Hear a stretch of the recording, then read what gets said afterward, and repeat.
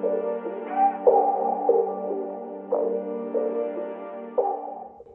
guys, Greg Fraser here again with Jing Shen Kuo I've got my assistant here, Eric, working with me. Today we're going to work through uh, what people call the lightning locks or Z locks.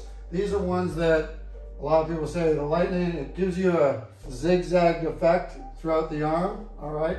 So if I'm starting here, these are typically from a common thing. Say Eric's trying to stop me from going somewhere. He's palming me off of this person, okay? So the first one we're gonna do is a cross hand grip. I'm gonna go from this position. I'm getting in, I'm gonna get the outside meat of the hand. You're not grabbing onto the wrist, you're grabbing up to the baby finger on the meat of that area of the hand.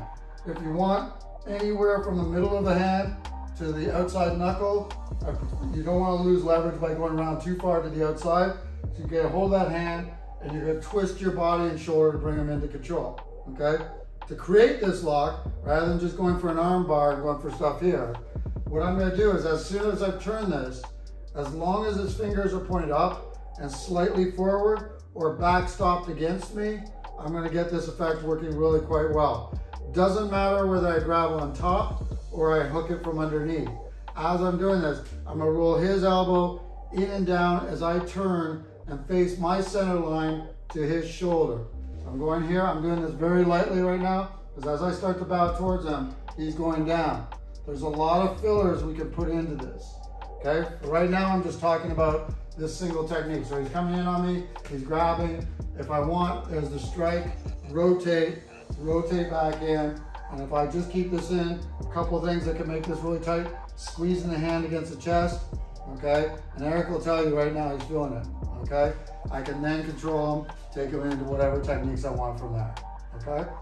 So once again, striking, filling, okay? Twisting to get that control, rolling in down, or rolling in and down. These give me different options. I could take this from here, tuck this head through, go for face locks and so on from here if I wanted to. Second technique that we are asked about is the same side. So it's coming in here. I'm now taking the back side, backstopping the back of his hand and grabbing around the thumb side of his of this hand. What I'm gonna do is I'm gonna rotate my wrist, my body back here. If I'm doing this, there's a couple of three basic ones. If I hook under and I rotate, I can pass this hand back and I can either take him down to the inside, which will stack him, or I can pivot, take him around downward, all right? So this one, I'll do it from this side so you see it. He's hold. All right, let me go same this one here. So as I'm going through here, I'm taking it off, all right? I'm taking him down, boom, and I'm going under this fashion, all right? You can grab here, I can go under this fashion. Rotate, catch, and I've got all these different locks I can do if I need to come along or whatever. Third one you're gonna look at here, same principle, he's grab and hold. I'm pushing that head, driving him away. While I'm doing that, I'm taking that peel and opening up that wrist. This is a trick. I don't want to come with my forearm or sort of the, the upper half of my arm over top of his forearm because when I get in here, I can get hung up, or if I even get onto his leg and he out strengthens me right there, I can break an elbow. So when you're doing this, it's very important that as I'm going through, okay, and I'm coming back, I'm looking for just under the armpit at the top of your tricep, okay? I'm coming down to the wrist, hooking back under, and then going for either throat up here, locking his face if I want to do a come along, or I can bring him down into a really bad takedown right here. If I went to the ground with this, he'd have a subluxed shoulder, okay? Be careful if you guys are training this one. This one I love. He comes in, it's drive in, and I can walk him out any which way. If I wanted to come along, I turn under the ear, okay? And I could lock this in this way. And he's pretty much gonna come along. If I need to squeeze down, how's it feel? Not good. Not good. All right, one more time. Let's grab here. A little tricky. To the face, dot the I, okay? Cross the teeth if you, the teeth if you need to. Drive that distraction.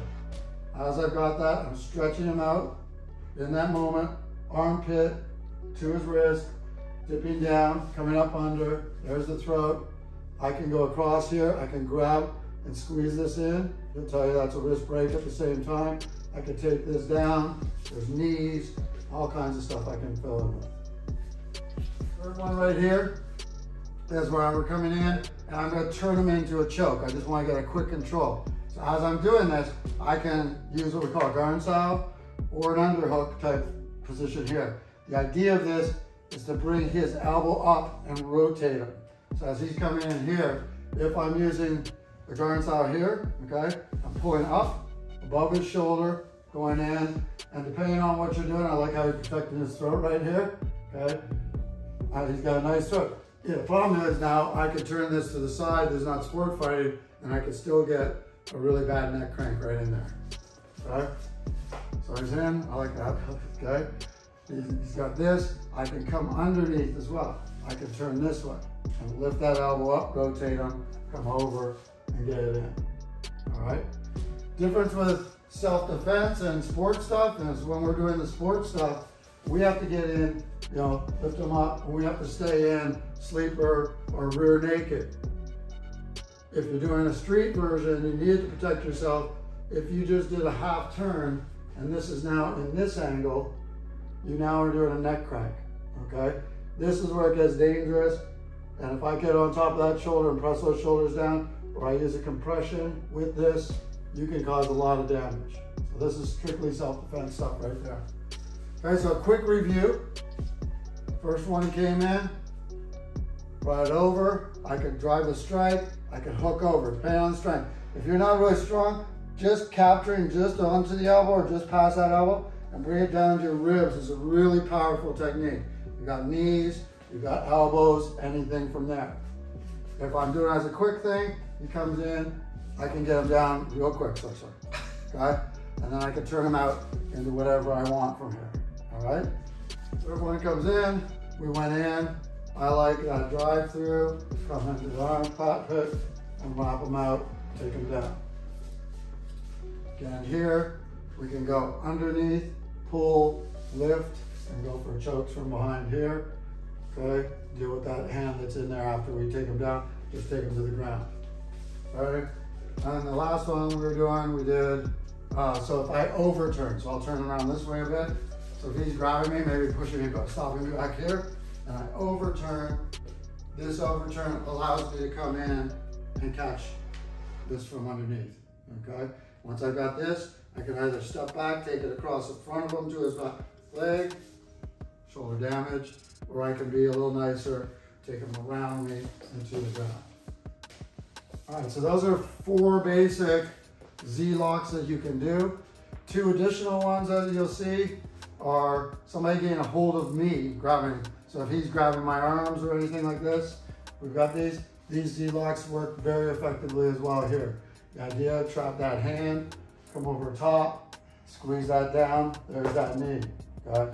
Here's those elbows rolling from there. He does it this side, right? Grab on, so he gets all the wrist, same thing, over, bring it back in, there down, knees, deliver, deliver, boom? One other one is, he's grabbing cross hand, same idea. I'm going to the outside on this one, creating this Fuchs out position. So it's this tucking position, coming over right here, all right? And then I just point towards his shoulder and where I want him to go. All right, got him here. So on that pull position, over top, I need to still redirect. So if I'm going here, he's gonna roll out on it. So what I wanna do is get that sort of snake, come in, repoint, and then take him down. There it is, there it is. Okay, as fillers, if you guys aren't really training, I mean, you're gonna have to practice this one to get it very effective. But if I'm ever in these type of things, and I go into these locks, okay? Three really great techniques you can add as fillers that you don't need a lot of skills on are what we call bat wings. These are your rolling elbows here. Boom, drive. Move their head, drive through. Turn their face, drive through, or double hammer, okay? That's one way. If I get here, I can also go from here and come out with these double hammer fists, okay? These work very effectively. And the third one is, we go in here, is just staying this in, and what we call a rhino, I just drop behind, I'm not hitting backwards, this one I'm gonna be very careful of because he'll feel it as I go in you feel that increased lock on your on your wrist joint. So these are a couple add-ons, a couple fillers that you could try. Check them out and let us know what you got service.